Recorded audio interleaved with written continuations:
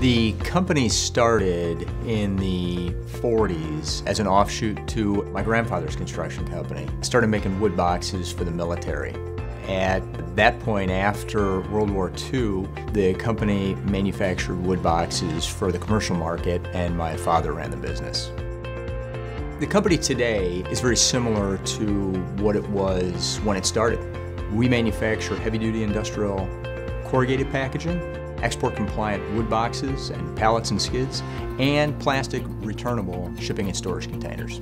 We produce solutions from the far left being somebody who makes a very sophisticated piece of machinery, x-ray equipment, commercial cooking equipment, all the way to the other side of the scale, somebody who manufactures a fabricated metal component, metal stampings, forgings, castings, and we hit everything, you know, in between.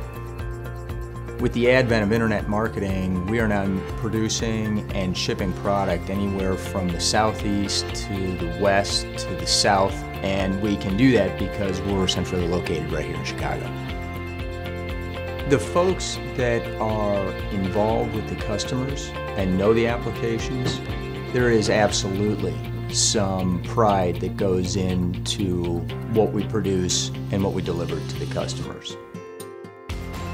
I think the key to the success of this business is we are dedicated to one type of product and as a group we're dedicated to being experts in that field and the best that we can possibly be within that small space. If you're somebody in the marketplace and you need the confidence that somebody can be a problem solver for your heavy duty packaging challenge, this company excels at that.